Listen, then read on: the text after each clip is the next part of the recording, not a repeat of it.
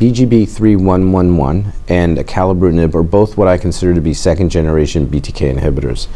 Um, some interesting differences between the two of them in the sense that BGB3111 represents, you know, out of all the BTK inhibitors, sort of the one that has the largest area under the curve. So we really see sustained serum levels with that, far more than we do um, with acalabrutinib.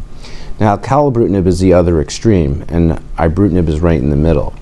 So with the acalabrutinib, it has a very, very short half-life, namely in about 30 minutes.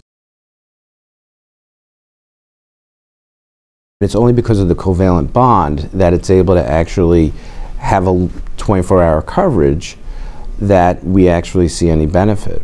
So what's interesting about these two is whether or not there will be certain advantages to one over the other. So both of these actually have less EGFR inhibition than ibrutinib does, which I believe affords a benefit in terms of diminished risk of diarrhea, rash, and some of the other side effects.